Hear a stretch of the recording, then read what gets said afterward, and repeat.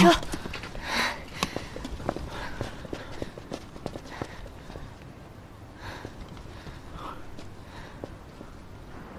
各位下午好，顾董身体抱恙，今天的并购案会议由我代为主持。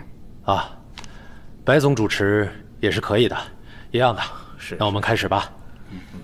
华林这个案子一直是江主任主推的，江主任先来说说吧。好，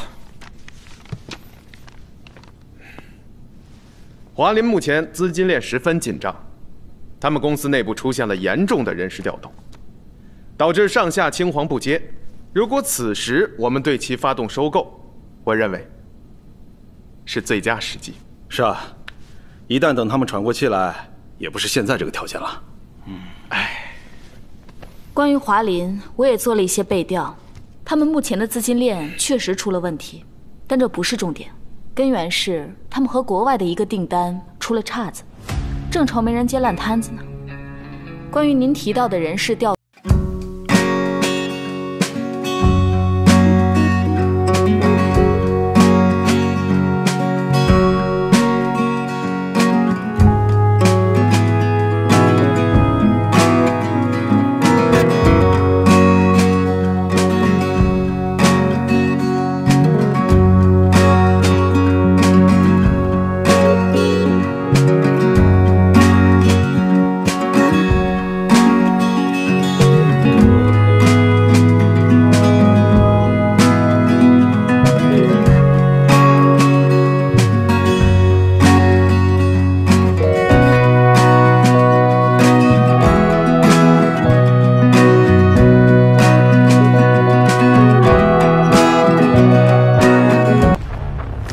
什么东西？你还没过门呢！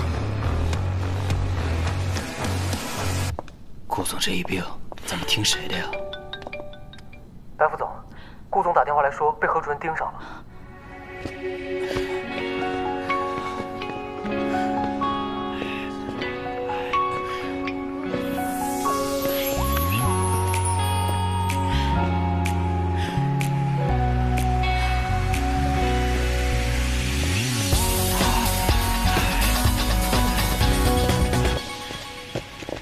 哎，顾总，你不能再跑了，你跟我回去。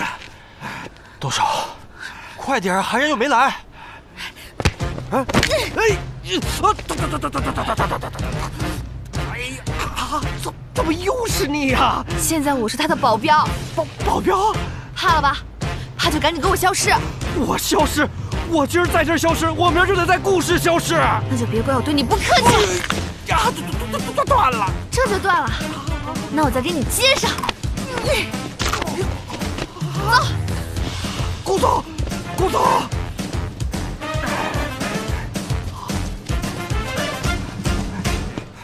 哎，人呢？顾总，顾总，